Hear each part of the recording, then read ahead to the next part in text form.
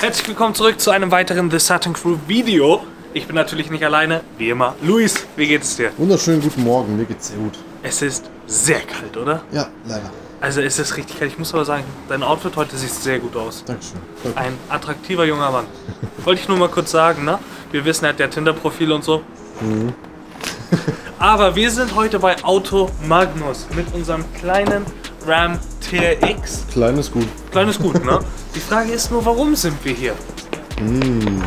Diese Frage stellt sich natürlich, denn Rambo wird jetzt umgebaut.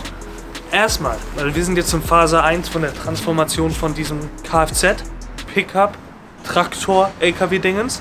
Also, eine ganz wichtige Sache, die das Auto braucht für den Winter, damit wir auch coole Videos machen können, ist ein Unterbodenschutz.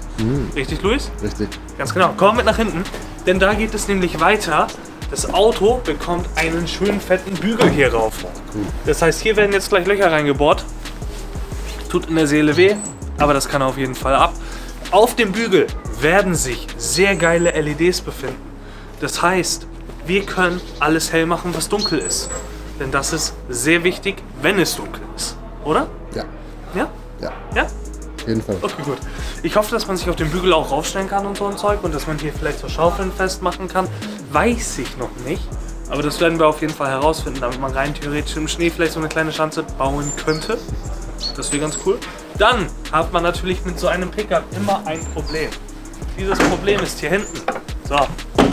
Luis und ich fahren zusammen romantisch Ferien in Italien. Richtig? Richtig. wie so wir es jedes zweite Wochenende eigentlich machen. Ja. Ne? Genau. Ähm, wir haben Gepäck dabei. Hinten passt natürlich viel rein, also bei den Sitzen.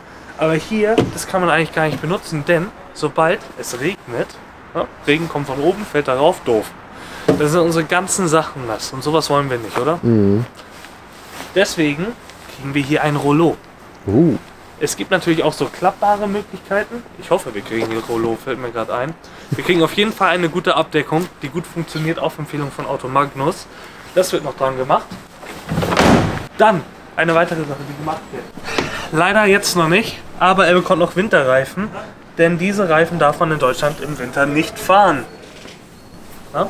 Bei TikTok haben übrigens viele gedacht, dass ich wirklich sehr dumm bin. ja, ich fand's sehr lustig. Ich fand es auch sehr lustig. Ähm, ja, also es liegt natürlich auch an der Gummimischung, nicht nur an dem Profil, ob man das im Sommer oder Winter fahren darf. Ne? Wollte ich nur kurz gesagt haben. Das heißt, Winterreifen kriegt er. Das aktuelle Problem ist nur, hier sind drei Reifen. Und wie wir sehen, wir haben eins, zwei, drei, wir haben sogar vier Reifen an dem Auto. Wir haben sogar fünf, da unten ist noch ein Ersatzrad dran. Uh, cool. Ja, ja, nicht schlecht, ne? Deswegen äh, müssen wir auf den vierten Reifen noch warten. Ich würde sagen, wir gehen mal rein und gucken, was da abgeht. Wir befinden uns jetzt im Showroom vom Auto Magnus und machen so ein bisschen Imaginary Car Shopping für Luis und mich. Oder? Machen wir. Machen wir. Denn ähm, ich muss ganz ehrlich sagen, heute wird nichts gekauft. Ich muss sparen. Thema E92, weißt du. Na? Ihr habt es ja nicht geschafft, PPV auf die 5000 Follower zu kriegen. Sehr enttäuschend nebenbei. Ähm, Luis muss auch sparen, weil vielleicht kommt bei Luis auch ein BMW ins Leben. Mal schauen. Man weiß es nicht. Man weiß es nicht. Als erstes haben wir hier einen wunderschönen Challenger SRT. Ähm, und ich muss eins sagen, die Felge. Komm mit. Die Felge in diesem Lila finde ich ja sehr, sehr, sehr geil. Das ist auch schon die Whitebody-Felge. Äh, was wir nicht haben. Wir haben keine Whitebody-Felge, denn wir haben ja das Whitebody-Kit danach draufgepackt. Aber die Felge ist geil, oder? Die sieht cool aus, ja.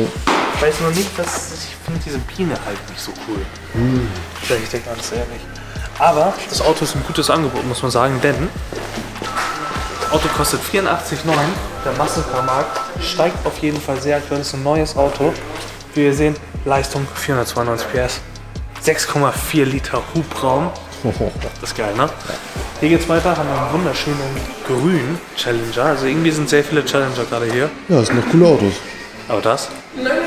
Da bin ich ja schon wieder eher unterwegs, ne? Farbe? Bei der Farbe, ja. Das ist geil. So Brombeer-Lila irgendwie. Aber der kostet auch 89,9. So, ja, ganz ehrlich, da müssen wir noch mal mit hier Automagnus reden. Ist nicht okay. Das Ding ist ein Geil. Chrysler äh, Pacifica Touring L. Das ist genauso viel wie der Challenger. Richtig, da kann man. Also entweder oder, ne? Das ist die Frage, was nimmt man da? Aber ich, da muss ich ganz ehrlich sagen, ich finde, das ist sowas für uns beide. Ja, für einen gemütlichen Familienurlaub mit, mit unseren Kindern hinten drin. Richtig, ja. ne? Ja. Muss man kurz sagen, Ed Dodge, ne? Ihr müsst mal so ein Minivan rausbringen, irgendwie als Hellcat-Version mit so 800 PS, dass wir einen Ami Frank kaufen können, der 800 PS hat. Aber es geht natürlich weiter. Pickups. Pickups sind richtig und wichtig. Hier haben wir einen wunderschönen Ram, der definitiv viel kleiner ist gefühlt als unser TRX.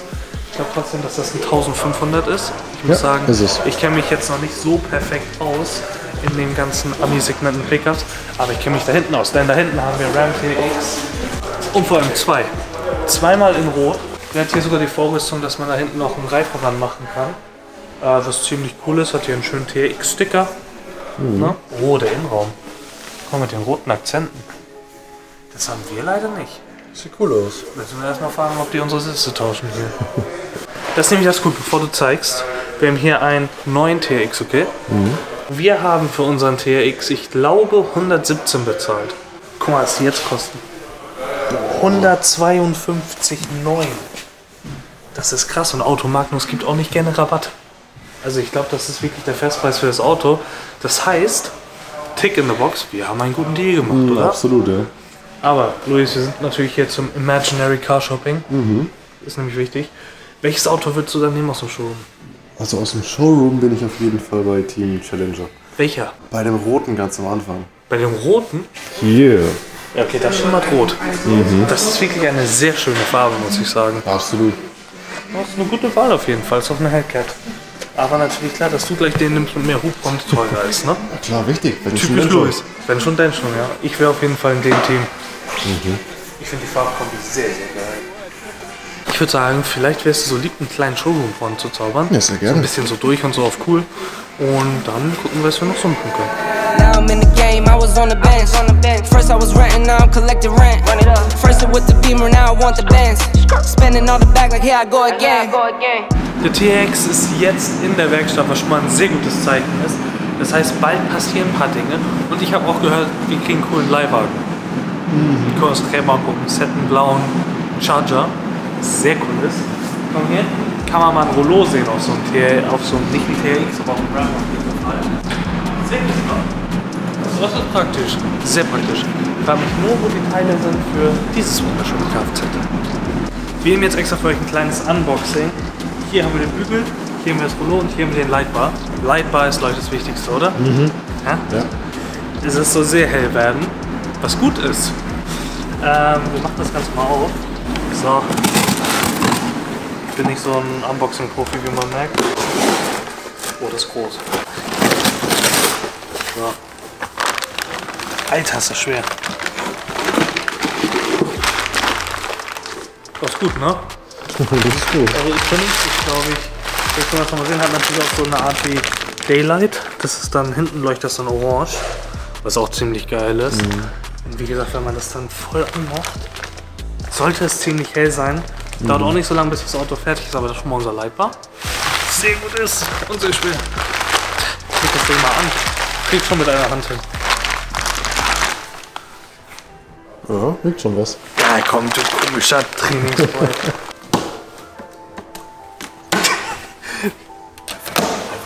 Siehst du das? Gekonnt. So halb. Wie geht denn das auf? Oh, das hat dann noch so Nägel an der Seite drin. Wo hier Tackerteile. ja. Kriegt man die dann raus?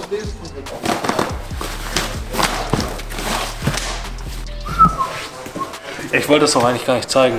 Sag ich dir ganz ehrlich. Wofür auch? So.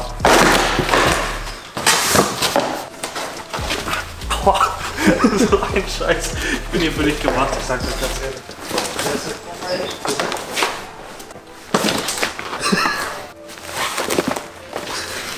Gib mal kurz die Kamera. Versuch das Ding da mal hinten mit einer Hand hochzuheben. Mit einer Hand. Das ist Stahl. Das ist schwer. Gut, also wir, wir können das natürlich auch gut so zeigen, würde ich sagen, oder? Wir sehen hier das. Und dann haben wir hier noch. Hier haben wir noch eine Box. Alter, man tut sich ja hier überall weh. Hier sind kleine Teile. Luis, ready? Oh. Ein dickes schwarzes Rohr haben wir hier. Vor allem das funkelt schön in der, in der Sonne. Nee, cool. Also wir haben hier auf jeden Fall verschiedene Rohre und so weiter und so fort. Ähm, das wird natürlich am Ende besser aussehen, wenn das alles zusammengebaut ist und nicht zwei inkompetente Vollidioten hier stehen. Also vor allem einer. Und hier probiert die Boxen aufzumachen. Jetzt machen wir es mal wieder zu. Wiegt eh viel zu viel das Ding, sage ich euch ganz ehrlich. Ja, genau. Coole Sachen. Sehr coole Sachen. Und nochmal sehr coole Sachen.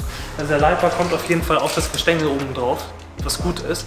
Wird dann über AUX 2 im Auto gesteuert, damit wir über Blut übrigens an dem wichtigsten Finger. Ganz problematisch. ähm, damit wir eben alles schon bestrahlen können. Wenn Luis irgendwie wieder querfährt wie ein junger Gott irgendwo im Dunkeln und man nichts sieht, muss er natürlich auch Dinge erkennen können. Schönes Auto, hier sind auch das alles. Ja. Also wie man sieht, das Rollo ist das, was da hinten drauf ist, haben wir hier drin. Deswegen würde ich sagen, müssen wir es nicht aufmachen. Ich will jetzt auch nicht hier alles so messy machen. Das war unser perfektes Unboxing. Gut, oder? gut. Super gelaufen. Dankeschön.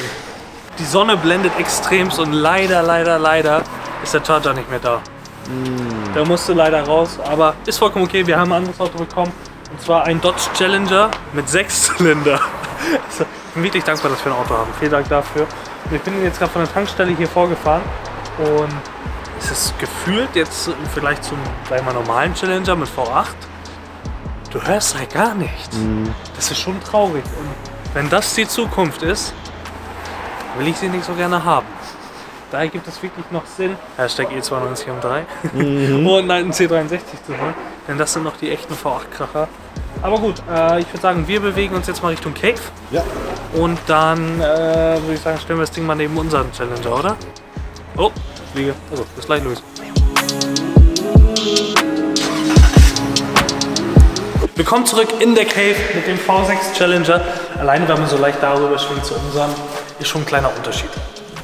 Ganz minimal, aber kurzes Feedback zum Auto. Wir müssen die jetzt auch nicht hinstellen, um die irgendwie zu vergleichen, denn da ist einfach kein Vergleich. Das Einzige, was leicht bei dem Auto gefühlt ist, ist die ganze Karosserie, sieht halt gleich aus.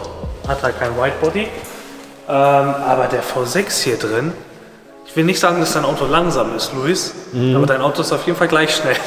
also da ist kein Unterschied. Und mehr als 220 will er auch nicht wirklich. Wie gesagt, das ist ein Auto, es fährt, alles gut, ist sicher, nicht schlecht. Aber würde ich mir niemals kaufen. Nie in meinem Leben. Das, wie klingt der von außen? Man hört nichts. Man hört gar nichts. Nichts ne? gehört. Es ist einfach nur ein kleiner V6. Ich kann ja mal kurz starten fürs Video, dass wir mal hören. Aber warte, wir können ja mal gucken, ob der Remote Start hat.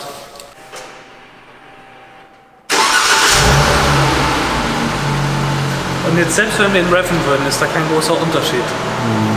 Das war's, mehr hat er nicht. Ja, ist traurig. Ist es wirklich. Aber danke an www.automagnus.de, dass wir das Auto ausleihen können. Äh, vielleicht können wir jetzt die Tage noch mal auf den Charger wechseln. Das wäre ziemlich geil, so wie es eigentlich geplant war. Aber sonst würde ich sagen, sind wir hier beim Ende von diesem Video. Wir hatten auf jeden Fall Spaß. Ich bin sehr gespannt, was mit dem TRX passiert über die nächsten Tage nur auch. Ja. Deswegen würde ich sagen, wenn es euch gefallen hat, lasst gerne ein Like da, ein Abo, äh, drückt die Glocke, teilt das Video mit eurem Hamster und wir sehen uns beim nächsten Mal. Ciao.